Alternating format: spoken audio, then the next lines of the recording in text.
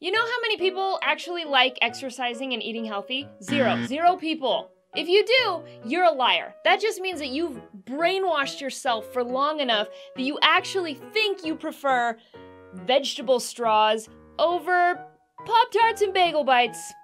Liar. I always laugh on House Hunters when the wife is like, I have to have a yoga studio. I'm like, yeah, right, that's not getting used. You know what that's gonna be? That's gonna be a luggage storage room.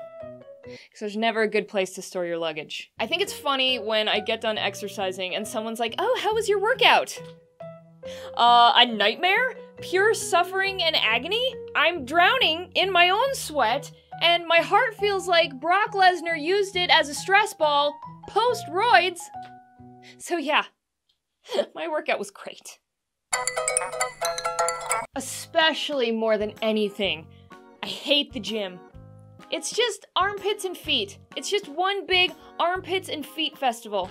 Even if people wear shoes, it still always smells like feet. Why? So, I was a competitive dancer for most of my life, and uh, I've continued dancing throughout the years. So, that combined with the fact that I hate gyms, uh, I've always had to find a- an alternative way to work out. I can't just be on a treadmill for like an hour. Like, it's so boring. I can't do the machines, none of that. I've always been somewhat active, and I eat okay, like definitely not great. But I gave birth seven months ago, and that's when I decided I'm gonna actually try getting in shape for like the first time. I'm gonna try to eat better and exercise, and I'm gonna do it.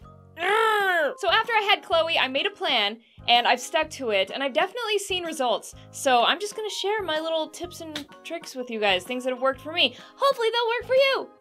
Oh, and doing these things, I'm seven pounds lighter than I was before I got pregnant. It's not funny. Stop laughing at me.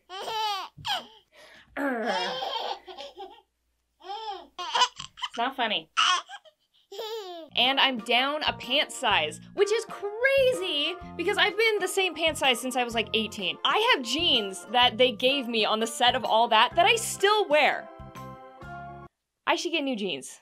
All right, let's start with exercise. I run for about 45 minutes to an hour every day or almost every day. All right, time for the daily run. Are you ready, Riley? Are you ready? Let's do this. Previously in my life, I never ran. I was always taught that it was bad for your turnout if you're a ballet dancer. Don't worry, I have so much sunscreen on, you can smell me from like a mile away. I started out slow, I built up my stamina, and now I can pretty much run straight for, like I said, about 45 minutes. Ooh, spinner rack. Stay in the ball. Then I made a playlist on YouTube of five videos from a YouTube channel called BeFit. They're from a series called Ballet Beautiful, hosted by Mary Helen Bowers, who used to be a dancer with the New York City Ballet. And also, she's the one that trained Natalie Portman for Black Swan, so she's legit. I'll link to those vids below, but the five are uh, butt, abs, inner thighs, outer thighs, and arms. From start to finish, my playlist is maybe an hour. I think it's less than that, and I do that about three times a week. Obviously, I picked those videos because they're ballet, and that's what I'm used to. It's what I've trained in my whole life. Uh, also, ballet dancers are like the strongest, most graceful people on the planet, and they have the best butts. And that is it for exercise. That's it. Next is diet. Uh, I still basically eat the same things I did before. Uh, I still eat like salt and sugar and carbs and bad stuff. I mean, not all the time, but like I didn't cut that stuff out. But I found with running as much as I do and increasing my stamina, I just naturally eat less. It's crazy. It just happened. Like magic. I do try to focus more on protein. I eat a lot of chicken and a lot of vegetables. Like at the beginning of the week, I'll just like crock pot a bunch of chicken breasts and just like eat that throughout the week. However, the biggest change was liquid. I don't drink my calories anymore. I don't drink soda, I don't drink juice. I mean, I have a little bit of alcohol now and then if I'm out. We're gonna get beer. Beer. Beer. But I exclusively stick to water and I drink a lot of water. So much water. Like eight or nine glasses a day and I just kind of train myself to do that. So now I'm I'm used to it and if I don't drink that much I get really thirsty. So I'm to the point that I don't even have to actively try to drink more water. My body just craves it. And honestly, that is it. just to recap, I run for about 45 minutes to an hour every day.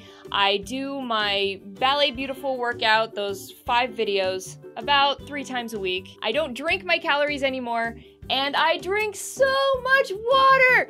So much water! Drink water! Oh, I also stretch all the time, but I've done that my whole life. That's not really a big change for me. Although I don't do it drunk anymore. Oh,